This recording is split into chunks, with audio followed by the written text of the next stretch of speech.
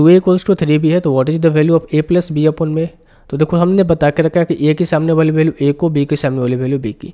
हम कह सकते हैं कि यहाँ से ए की वैल्यू हो जाएगी तीन बी की वैल्यू हो जाएगी टू बोल के रखा है ए प्लस बी यानी कितना हो जाएगा पाँच, और ए कितना दे रखा है हमने तीन। तो पाँच बटे तीन जो है, इस क्वेश्चन का आंसर हो जाएगा।